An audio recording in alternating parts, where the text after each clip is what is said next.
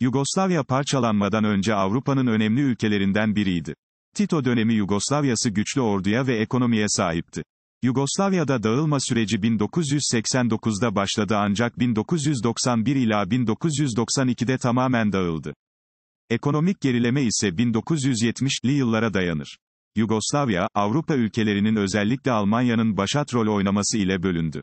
Bölünme, parçalanma kanlı oldu ve ülkede 7 devlet oluştu. Sırbistan, Hırvatistan, Slovenya, Bosna Hersek, Karadağ, Makedonya ve Kosova. Çok etnik yapılı, çok dinli, çok dilli, çok kültürlü yapıya sahip Yugoslavya, parçalandıktan sonra da oluşan devletlerde aynı durum kendini muhafaza etti. Slovenya dışında geri kalan altı cumhuriyet çok etnik yapılı, çok dinli, çok dilli ve kültürlüdür.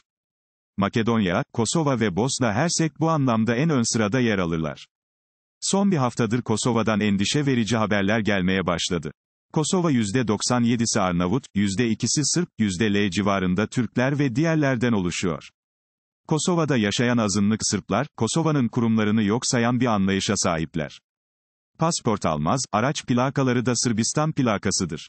Kimlikle Sırbistan'a geçerler Sırbistan plakalı araçları Kosova'da kullanırlar.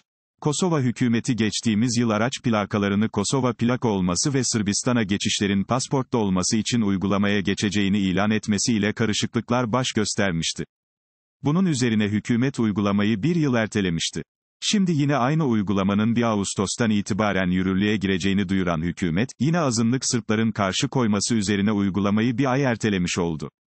Bir ay sonra neler olur bekleyip göreceğiz. Sırbistan-Kosova arasındaki çekişmenin sona ermesi kolay olmayacaktır.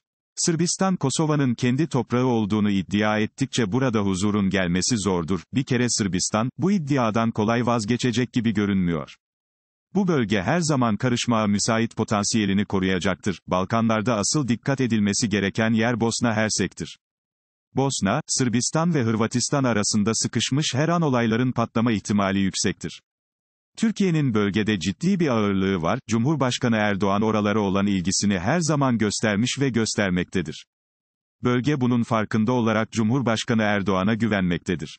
Balkan coğrafyası her an patlamaya müsait bölgedir. Balkan savaşlarında Osmanlı 200 bin şehit vermişti. Balkanların, Balkan savaşlarının bizim tarihimizde ayrı bir yeri vardır.